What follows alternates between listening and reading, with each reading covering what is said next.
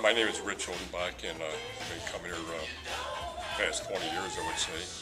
And the reason I come here is uh, the deals are good and the service is good, and uh, and uh, some of the staff I've been working with, dealing with uh, over the years, and that like Brian uh, Kunai and uh, working with Lynn in the office. Uh, it made it easier for me to come here. I mean, it's the guys uh, do a good job for me.